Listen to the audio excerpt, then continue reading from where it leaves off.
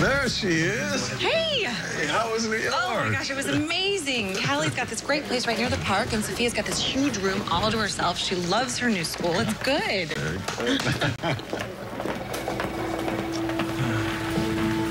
Uh, hey, when did you get in? This morning. Welcome back, Robin.